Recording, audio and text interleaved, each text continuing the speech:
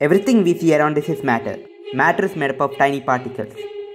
Today we'll explore the characteristics of particles of matter by doing some experiments.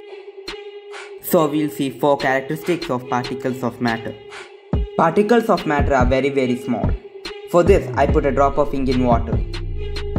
So a small drop of ink can color 200 ml of water.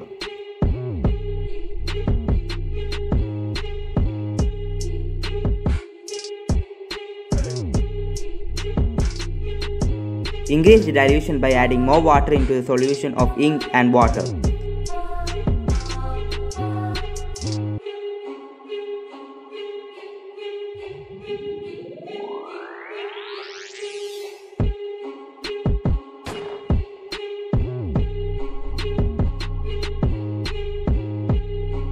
We still see the blue color. The particles of matter are very very small.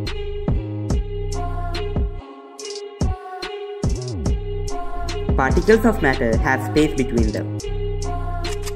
Take 150 ml of water. A sugar grain is made up of large number of tiny sugar molecules. Put some sugar grain into water. Dissolve it.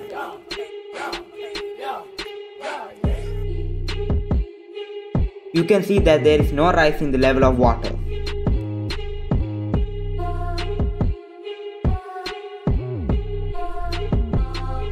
Here the sugar grain break into tiny sugar particles when they dissolve in water. And these tiny sugar particles occupy space between the water molecules. That is why the level of water does not rise. This experiment proves that particles of matter have space between them. Particles of matter are continuously moving. Let us do an experiment for that. Light up an incense stick. We can see the smoke spreading on its own. Soon the smell will spread across the room. This is because the particles are moving on its own.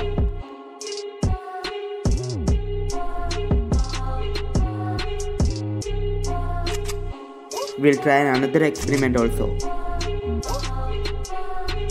Drop some ink into the water. Don't stir. We can see the blue color spreading on its own. So from both the experiments, we have proved that the particles of matter are continuously moving. Process of mixing up of particles of different types are called diffusion. Particles of matter attract each other.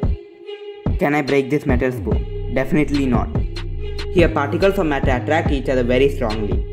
Now take a piece of crayon. I can easily break this. Here the force of attraction between the particles is weaker compared to the metal spoon. So particles of matter attract each other.